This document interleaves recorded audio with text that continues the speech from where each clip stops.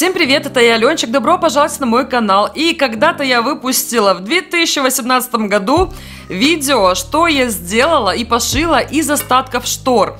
Я делала очень много интересных предметов, Э, какие-то были интересные решения, начиная от ковриков, заканчивая домиком для кота. Очень рекомендую это видео, ссылочка будет в описании. Сейчас я не собираю остатки от штор, но они у меня все равно в доме есть. Угадайте где? В подушках.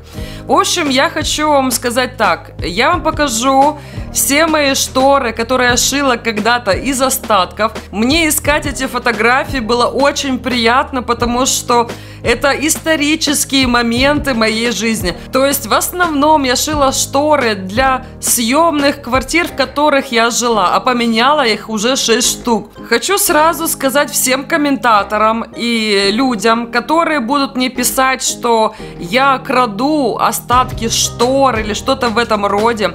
Люди не всегда забирают остатки. Более того, они им не нужны. Чаще всего люди не умеют шить, и они не знают, куда приспособить эти кусочки.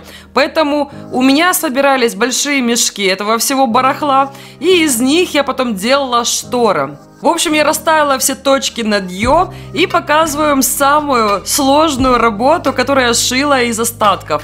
Это я шила для комнаты, которой я провела всю сознательную жизнь свою и студенчество. Э, здесь э, начали делать ремонт. И я решила заменить обычный тюль, такой простой сетчатый, на вот такой фантазийный вариант э, недояпонских штор.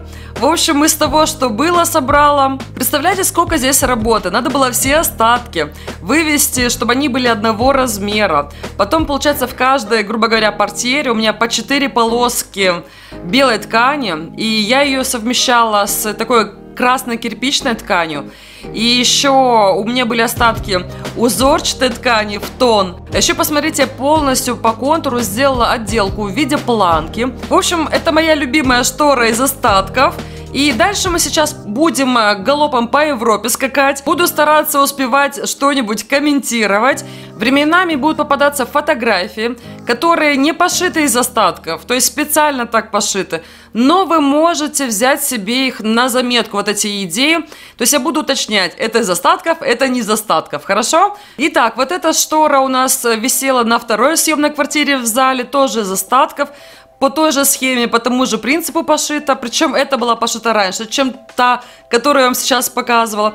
Это у моей мамы дома тоже кусочки тканей. Видите, как я их сшила? Очень интересно. То есть э, и балкон не закрыла, и проход не закрыла.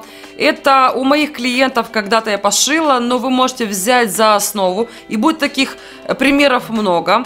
Это тоже у моих клиентов из кусочков пошито. А вот мы шили, получается, штору. То есть вы видите две боковинки, серединка. И мы из э, полосочек пошили римскую. Просто нам нужно было выдержать направление нити. Если бы у ткани не было конкретной структуры, то мы делали бы римскую из остатков, 100%. А так даже видно на фотографии, что полосочки идут параллельно спицам. А вот смотрите, можно и покрывало тоже пошить из остатков, таким образом, как я сейчас показываю на экране хотя это не из остатков. А сейчас вернемся в квартиру, где мы все выросли. И я у брата в комнате во время ремонта повесила вот такие японские экраны.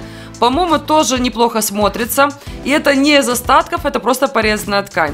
Это тоже вот экраны сделанные у клиентов. И следующая штора на маленькое-маленькое окошко тоже могла бы быть из кусочков пошитая. Вышло очень миленько. И здесь э, сшиты два куска ткани. То есть э, идет коралловый цвет с абрикосовым. Но они близки к друг другу. И еще немного вам покажу того, что я шила у клиентов, что можно было бы шить из кусков. И потом я вам покажу все свои остальные извращения – которые я шила когда-либо. То есть они реально пошиты из остатков, которые я собирала в мешки.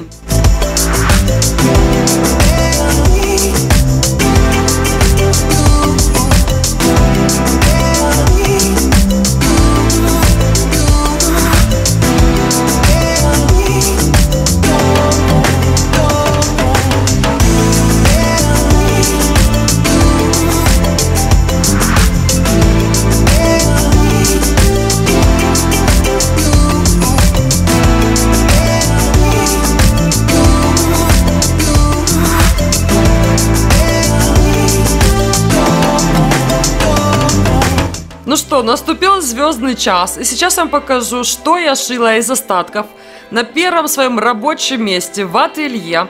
Там была куча окошек.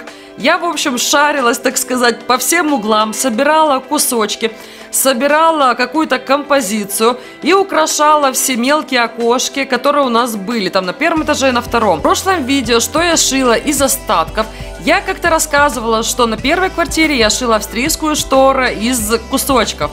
И вы говорили, как же это выглядит? А вот так. То есть шьются вертикально полоски, и все срезы прячутся под узкую шторную тесьму. А внизу уже можете украшать как хотите или поверху.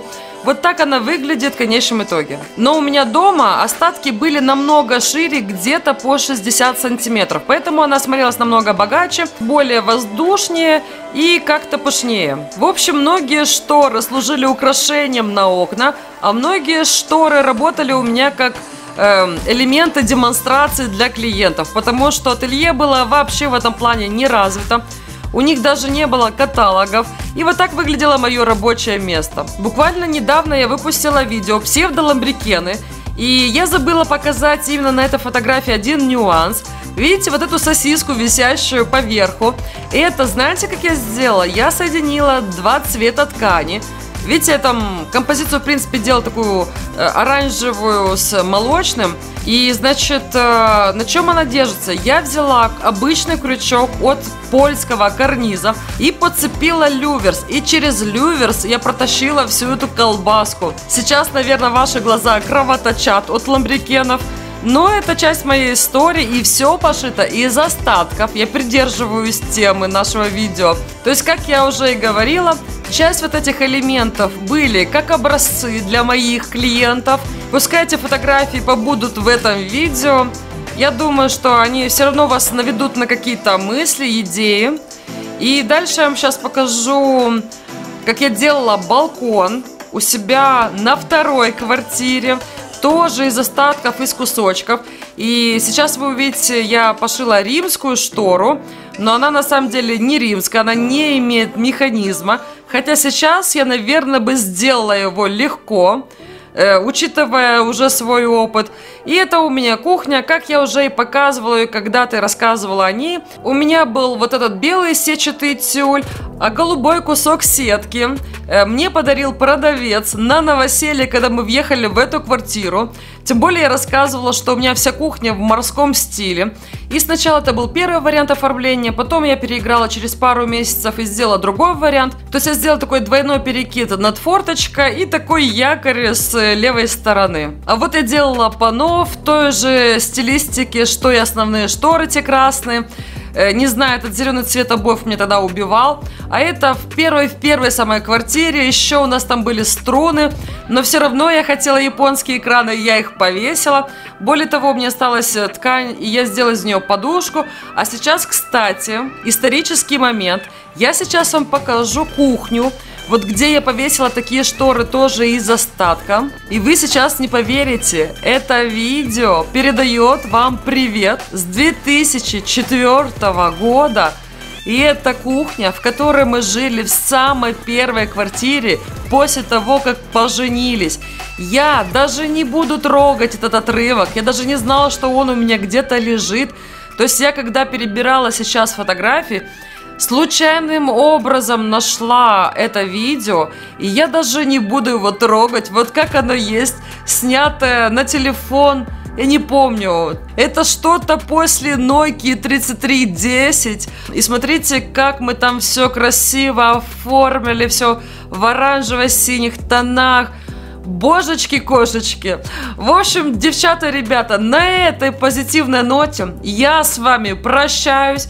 Желаю вам всего самого-самого доброго. Надеюсь, вы подписаны на этот канал и на второй, который называется Аленкина самоделки live. Ссылка будет в описании, как всегда. Я очень надеюсь, что вы влепили мне лайк за старание, нажали на колокольчик. В общем, с вами была я, Ленчик. До новых встреч и пока!